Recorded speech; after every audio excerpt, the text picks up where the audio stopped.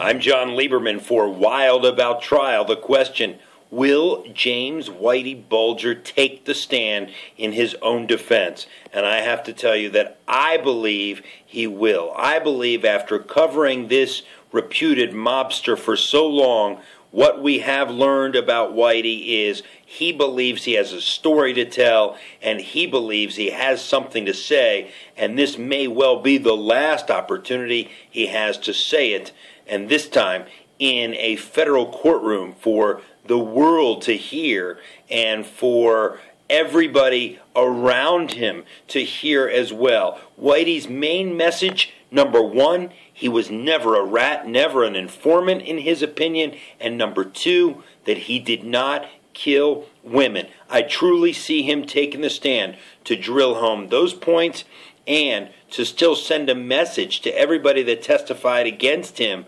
that he will get the last word. For a Wild About Trial, I'm Jon Leiberman.